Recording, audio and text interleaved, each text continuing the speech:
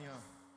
O amanhã pertence a ele. Marta não sabia que nunca mais ela o veria, porque depois dali ele foi crucificado e ele não pôde mais visitar a casa dela.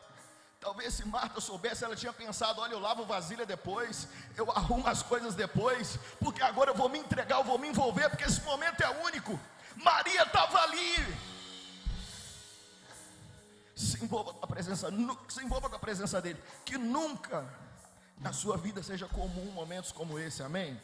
Olha para alguém que está perto de você e fala para ele: nunca, nunca deixe esse momento ser comum. Em nome de Jesus, amém? Alguém pode aplaudir Jesus bem forte aí? Pode voltar para o seu lugar abençoado, cantando, vai. O mais belo entre. Vai cantando. Milhares e milhares. Deixa eu te ouvir, vai. O meu amado é.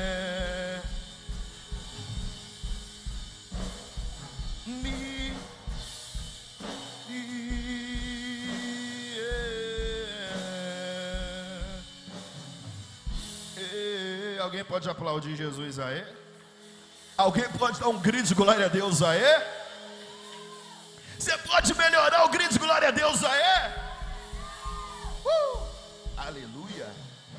Ó, é, para eu ser bem rapidinho aqui, bem rapidinho. Meus amigos, pode colocar o púlpito aqui em cima, por gentileza?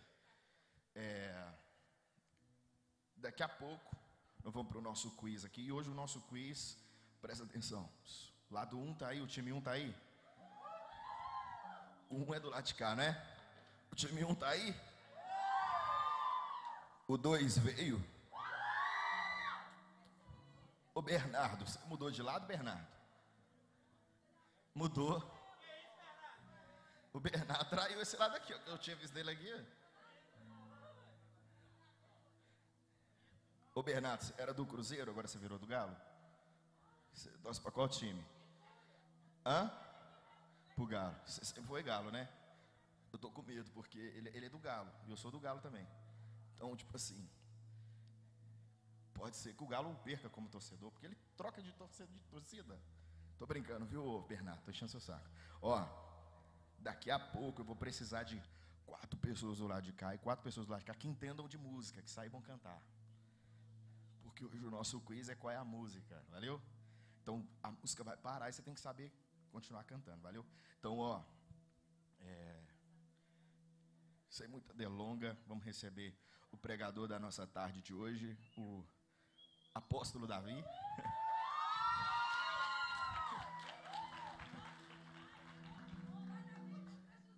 Ele é bonito, né? Estende a mão para cá. Todo mundo estende a mão para cá. Fala comigo assim: Jesus, uso Davi para falar o meu coração eu sei que o Senhor fala através dos seus. Eu preciso ouvir Sua voz. Por isso, usa o teu filho, em nome de Jesus. Vou aplaudir Jesus aí? Glória a Deus. Paz seja com todos, amém. Paz seja com todos, amém. Quanto se alegra com Jesus nessa tarde, diga glória a Deus. Eu tenho um costume de dizer que eu sou meio pentecostal. Eu sou meio doido, mas eu creio que você vai me entender nesta noite, nesta tarde. E se você não me entender, Jesus vai te fazer entender. Amém? Glória a Deus. Eu quero agradecer e tributar a Deus pelo privilégio e a oportunidade de estarmos aqui trazendo a mensagem e essa palavra de fonte eterna que é a palavra de Deus. Amém? Glória a Deus. Aqui eu trouxe, eu não poderia esquecê-la, a minha pastora Graziela. Essa mulher, fica de pé, por favor.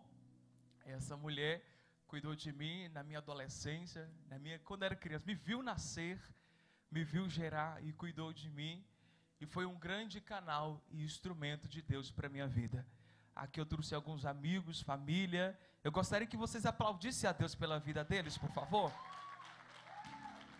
Glória a Deus. Eu gostaria de tributar ao pastor dessa casa pela honra e a oportunidade de estarmos aqui trazendo a mensagem de Deus. Você que trouxe a sua Bíblia e puder abrir juntamente comigo no livro de Marcos, capítulo 5, verso de número 25, por favor. Mamãe não chegou, mas mamãe está a caminho, daqui a pouco ela chega aqui. Glória a Deus. Se ponha-se de pé, por favor, se você puder. Eu não sei como você chegou neste lugar, mas o Senhor, Ele tem uma palavra de fonte eterna para a sua vida. Talvez você tenha chegado aqui desacreditado, desmotivado, mas Jesus ele não veio só para curar o teu espírito. Jesus ele também veio para curar a tua alma nesta tarde. Glória a Deus. Aleluia. Agora eu posso pregar em paz. Mamãe chegou. Glória a Deus. Aplauda Jesus por essa negona cheirosa. Eita glória! Agora eu prego, Jesus. Chega aqui, mãe, fica aqui na frente, eu quero te ver. Eu falei assim, Jesus, não deixa eu pregar sem ver essa nega, não, Jesus. Oh, glória a Deus. glória. Você que encontrou essa mensagem, diga amém. Glória a Deus. Diz assim a palavra do Senhor. E estava ali certa mulher que havia 12 anos sofrendo de uma hemorragia. Ela padecerá muito sobre o cuidado de vários médicos e gastará tudo o que tinha, mas em vez de melhorar, piorava. Quando ouviu falar de Jesus, chegou por detrás dele no meio da multidão e tocou em seu manto porque pensava: se eu então somente tocar em seu manto, ficarei curada. Verso 29: e imediatamente cessou-se a hemorragia, e ela sentiu em seu corpo que estava livre do seu sofrimento. No mesmo instante, Jesus percebeu que dele havia saído poder, e virou-se para a multidão e perguntou: Quem tocou em meu manto? Verso 31. E responderam-lhe os seus discípulos: Veres a multidão aglomerada ao teu redor, e ainda perguntas: Quem me tocou? Mas Jesus continuou olhando ao teu redor para ver quem lhe tinha feito aquilo. Então a mulher, sabendo o que lhe tinha acontecido, aproximou-se, prostrou-se aos seus pés e, tremendo de medo, lhe contou toda a verdade. Verso 34, eu termino por aqui. Então ele lhe disse: Filha, a tua fé a curou. Vá em paz e fique livre do teu sofrimento. Você que pode, se assenta e aplauda o grandão da Galileia. Glória a Deus. Aleluia. Eles falam que tremer é normal. Será que é normal? Glória a Deus. A Bíblia vai relatar sobre uma mulher que sofreu durante 12 anos com a hemorragia, que sofreu 12 anos com a enfermidade. A Bíblia vai relatar que esta mulher ia de semana em semana, de mês em mês, de ano em ano, e acabou que um certo tempo isso virou rotina perante a vida daquela mulher. A Bíblia dizia que ela sofria com a enfermidade, mas para aquela enfermidade, a Bíblia vai dizer que ela procurava uma solução. Eu imagino uma mulher desesperada. Eu imagino uma mulher preocupada com a situação a qual está vivendo. Eu imagino uma mulher que precisava de um socorro, mas só que toda vez que ela corria ao médico, toda vez que ela corria ao olhar carnal, e a quem poderia ajudar carnalmente, ela quebrava a sua cara. Eu não sei se você pode me ajudar a pregar nesta tarde, mas eu convido a você olhar para alguém que esteja do teu lado e pergunta: existem socorros? Diga para quem está do seu lado: existem socorros que são para Deus te apresentar. Oh glória, repita com mais autoridade. Existem socorros que Deus ele vai te apresentar. Existem coisas que o homem da terra pode fazer, mas existem coisas que Deus ele te apresenta na terra. A Bíblia vai dizer que uma mulher corria diariamente aos médicos, tentando procurar socorro, tentando procurar ajuda, para que possa solucionar a tua causa, mas Deus, Ele vai agir de uma forma diferente para a tua vida nesta tarde. Escuta, a Bíblia vai dizer que naquela época, aquela mulher foi correr atrás de um socorro e atrás de alguém que poderia solucionar o teu problema. Mas só que propósito é totalmente diferente do que cenário. Eu não sei se você pode repetir comigo, mas diga comigo: propósito é totalmente diferente. Eu estou negão aqui, ó Jesus. É diferente do que cenário. Diga comigo, é diferente do que cenário.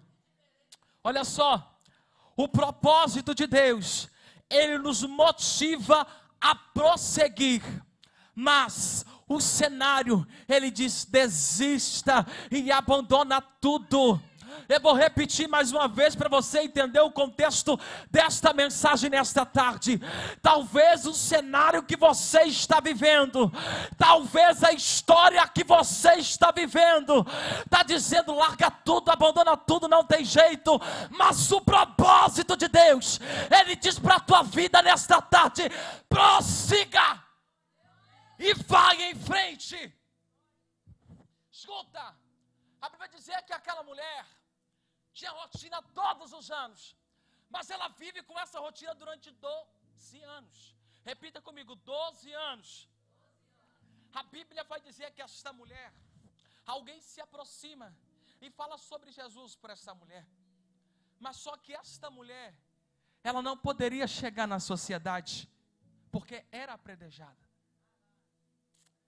Esta mulher era considerada como imunda, suja, porque a cama que ela dormia era considerada como imundície. A roupa que ela vestia não dava mais. A cadeira que ela sentava, ninguém poderia sentar. É assim que acontece. As pessoas pecam e pensam em se esconder. As pessoas falham e pensam em largar tudo, porque ninguém vai aprovar a tua história.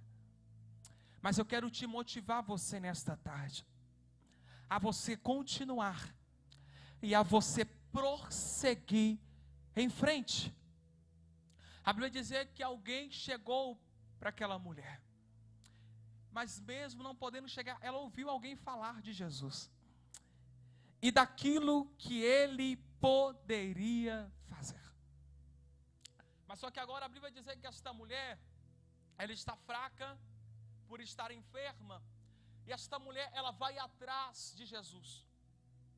Mas só que quando esta mulher, ela vai atrás de Jesus, ela se depara com a multidão. Mas só que a multidão, ela representa luta. A multidão, ela representa dificuldade. A multidão ela representa empecilho. Mas aquela mulher sofreu durante 12 anos, e ela se depara que até mesmo para receber o milagre, ela precisa enfrentar luta. Existem pessoas que querem receber algo novo da parte de Deus, mas não querem ir para o campo de batalha. Existem pessoas que querem receber daquilo que vem de Deus, mas não querem entrar no deserto.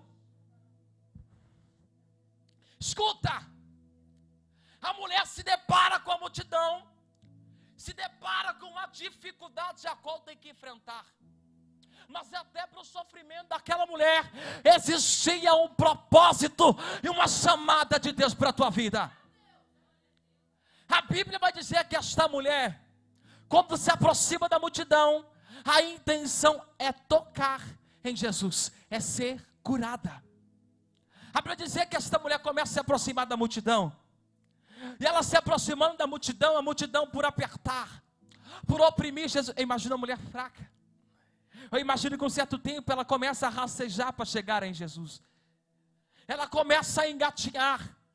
Mas só que agora a Bíblia vai dizer que esta mulher, ela pensa em tocar Jesus, ela pensa em até Jesus para ser curada para colocar um ponto final em teu sofrimento. Mas só que a intenção desta mensagem e o que a Bíblia vai dizer é que esta mulher ela pensa em tocar Jesus. Mas só que antes dela tocar em Jesus, ela teve que ter fé. Mas a fé de muitos hoje em dia estão morrendo, estão acabando. Mas só que a Bíblia vai dizer que também esta mulher, para ter fé, ela teve que crer. Existem pessoas que querem receber aquilo que Deus tem, que querem aquilo que Deus ele tem para oferecer, mas simplesmente não crer e nem tem fé em Deus. Vira para alguém que está do seu lado nesta noite, diga assim: para receber aquilo que é de Deus, é preciso. Eu acho que ele não entendeu. Pega na mão dele, pega na mão dela e diga assim: para receber aquilo que é de Deus, primeiro é preciso crer. Beija varão, não, irmão. Glória a Deus. A Bíblia vai dizer que esta mulher, ela consegue chegar no meio da multidão, e quando ela está no meio da multidão, eu imagino que ela está fraca, cansada, ela começa a racejar, mas só que no meio da multidão ela consegue tocar em Jesus. Glória! Olha só, ela toca em Jesus, mas só que a Bíblia dizer que não foi depois, foi imediatamente. Foi o quê? Não ouvi, foi o quê?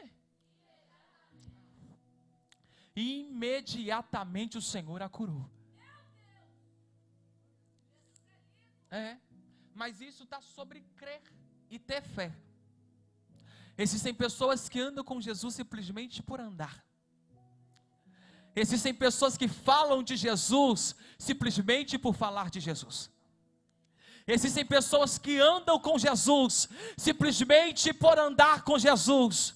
Mas eu quero convidar você nesta tarde, início de noite, a não só tocar em Jesus, a não só andar com Jesus, a não só falar de Jesus, mas viver aquilo que Ele tem para você e para a tua história. Escuta, para de andar com Jesus simplesmente por andar. Comece a andar crendo em Jesus. Para de pregar a verdade sem crer. Comece a pregar a verdade crendo que Ele pode fazer. Escuta, o mal da sociedade hoje em dia é conhecer a verdade e não praticar. Escuta, a Bíblia diz que a verdade, ela é Cristo. Mas também a Bíblia diz que eu sou o caminho, a verdade e a vida. E ninguém vem ao Pai senão por mim. Isso é Bíblia. É o que a Bíblia nos conduz em João capítulo 14, verso 6. A Bíblia diz que Ele é o caminho, Ele é a solução do teu problema, Ele é a solução da tua causa, Ele é a solução da tua dificuldade. Elepicalamassuri calaxéria. Oh, eu não sei como você chegou neste lugar. Eu não sei como está o teu coração nesta noite. Mas eu quero convidar você, nesta tarde, início de noite, a não só falar de Jesus, mas você crer naquilo que Ele tem para a tua vida, porque é fonte de vida eterna. Ele me calabassúria, pega na mão de quem está do seu lado e diga para ele, e diga para ela: a palavra de Deus, ela é fonte de vida eterna. Repita de novo que ele não entendeu. A palavra de Deus, ela é fonte de vida eterna.